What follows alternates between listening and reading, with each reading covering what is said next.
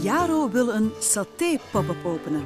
In zijn concept wil hij met vele kleine gerechten werken en gaat alles op een stokje.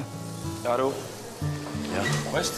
eh, goed, maar ik vind het een moeilijke opdracht voor mij. Wat zeg je? Omdat ik met die tapas normaal werk in het restaurant, vind ik het om een voorgerecht te maken nogal moeilijk. Dus ik ga nu gewoon een lekker voorgerecht proberen maken. En Maar als je alles op een stokje wilt doen en je, je wilt dat blijven doen, kan je dat ook met dit doen, hè, toch? Doe maar eh, ingrediënten aan de liggen. Zijn er nooit die op een stokje kan steken. Eh, je schalpjes kan je ook op een stokje doen. Hè. Je hebt mooie groentjes, je kan groentjes marineren, je kan er alle kanten mee op. Hè. Jaro straalt niet echt veel enthousiasme en power uit. eh, terwijl hij eigenlijk best wel een tof concept heeft. Hij weet niet goed wat hij moet doen nu op dit moment. Dus ik heb hem wat tips gegeven, maar uiteindelijk moet hij het doen. Hè. Ik hoop dat Jaro stap voor stap het zelfvertrouwen krijgt die hij zo hard nodig heeft om straks in Brussel een prachtig concept te beginnen. Beuk erin, vent. Niet zo, hè? Hey. ja, ja. Hey.